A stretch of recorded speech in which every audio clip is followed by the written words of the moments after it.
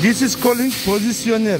Okay, the product is sitting on this, fixing with this equipments, and then this one is rotating up and down, and the arm is coming according to the parameters. It is coming, reaching to the welding point and make a welding like the one which you have seen just now. It can work like this two position, one other side, one this side. While this is empty, that one it is going to work. While that one finish, you feed this one and it's going to come and work on this one. You can offload it and uh, load that one again. It is continue working like that.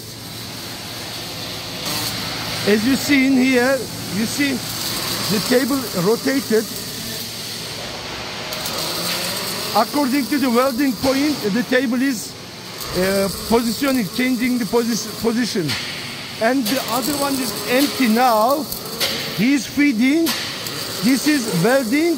When this one finish they are going to change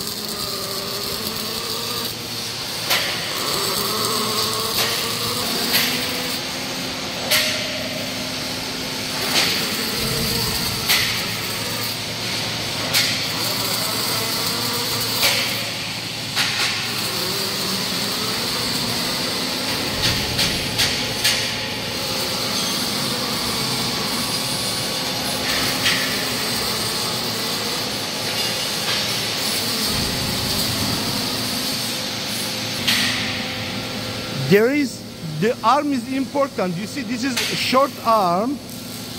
It is able to make a, this kind of small table welding. This is short arm for example.